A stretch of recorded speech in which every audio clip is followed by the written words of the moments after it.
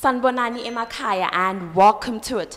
This is a brand new show and it's Music Chart brought to you by Footprint Media. Now on today's show, we look, we look at one of the top 10 hottest tracks in Mzansi and we take a look at an interview we take a look at an interview by a young, sophisticated DJ. So if you want to know more, stay tuned.